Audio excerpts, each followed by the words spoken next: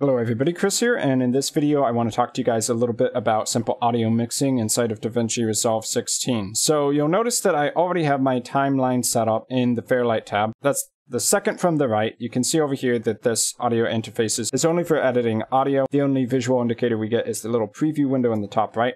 So in my timeline, there's four audio tracks, and you'll notice that I've separated them into four different categories. So in audio one, I have the original audio from the clips I brought into the timeline. In this case, though, because these are stock footage clips, they don't actually have any audio. In audio track two, I'm using this for voiceovers or basically narration that I've recorded in DaVinci Resolve. In audio track three, we have sound effects, and then in audio track four, we have music.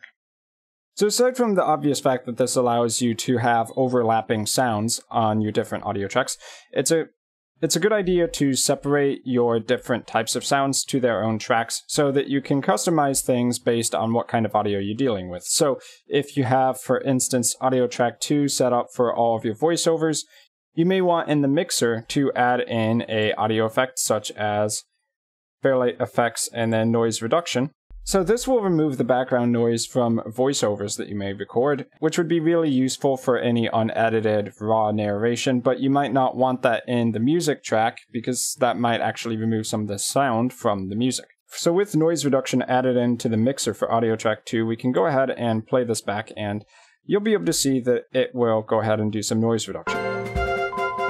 So here we have an amazing sunset occurring in the depths of Norway where it is really cold. As you can see, there's a lot of snow. Not many people wow. live there. And it's really, wow. really wow. cold. Okay, so hopefully if you were watching the so if you were watching the noise reduction window, uh, you would have noticed that as time goes by, it'll automatically adjust the curve for the noise reduction, figuring out what frequencies are just background noise and which ones are me actually speaking. So that can be one really useful tool you can include. So aside from that, you can see that each individual audio track has their own set of tools that you can customize for each one, such as an equalizer to emphasize or de-emphasize uh, different frequencies, uh, dynamics controls if you want to set up a noise gate to cut off low sounds, or a compressor to reduce some of the high-end sounds that are above a certain threshold to reduce how loud they are and compared with your threshold. And then the pan tools if you want one of your audio tracks to be emphasized on your left speakers or your right speakers or your front or your back speakers if your project is dealing with surround sound.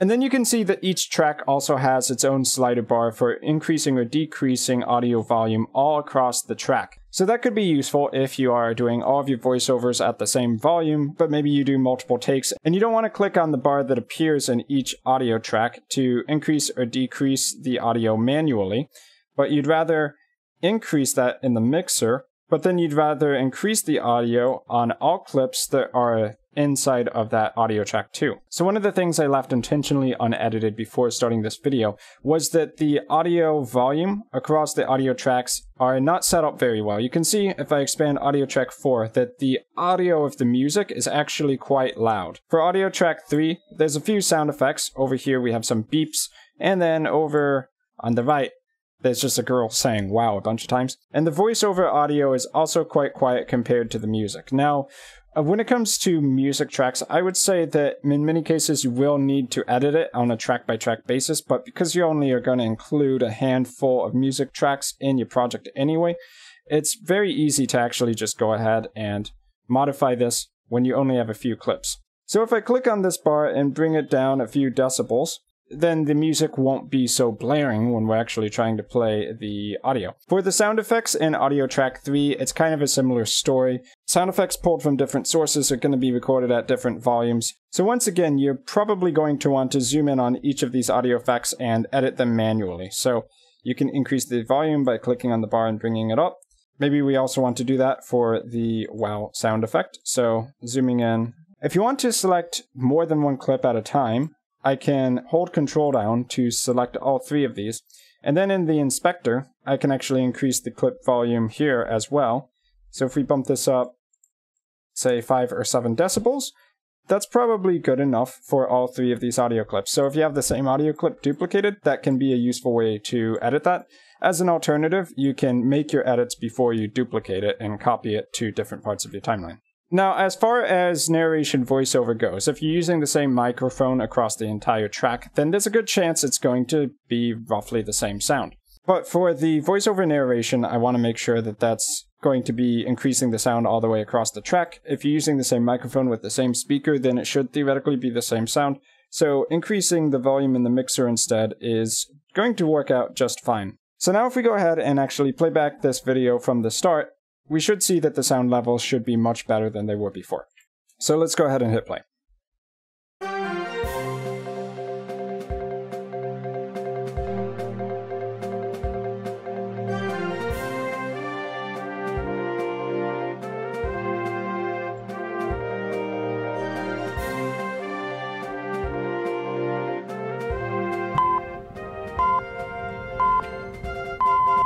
So here we have an amazing sunset occurring in the depths of Norway where it is really cold. As you can see, there's a lot of snow.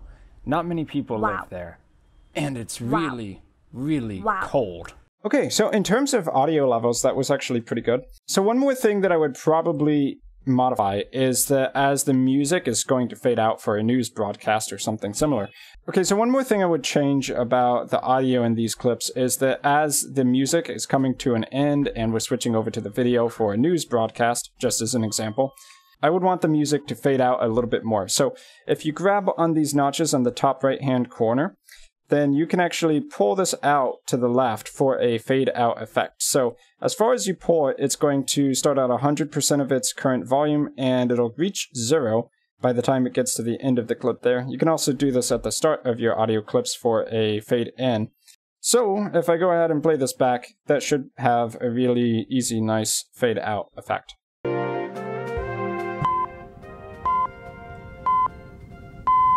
So here we have an amazing so one more thing we can add to Audio Track 2 is the dialogue processor, which exists in DaVinci Resolve 16 and up. So if we go over to Audio Track 2, I want this to process the dialogue track, obviously.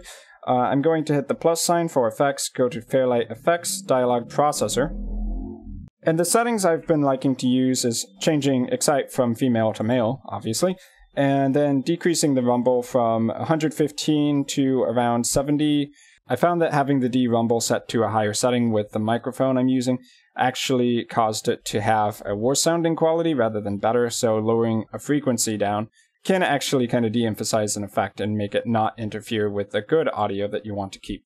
So now with that dialogue processor added on to Audio Track 2, we can go ahead and play it one more time. So here we have an amazing sunset occurring in the depths of Norway where it is really cold. As you can see, there's a lot of snow. Not many people wow. live there. And it's really, wow. really wow. cold. So hopefully this video has given you guys a couple ideas of how you can control and edit your audio across different tracks inside of the Fairlight tab of DaVinci Resolve 16. I wanted to keep it short and simple with this video, so that's going to be it. I've been Chris, thanks for watching, and I'll see you guys in my future video content.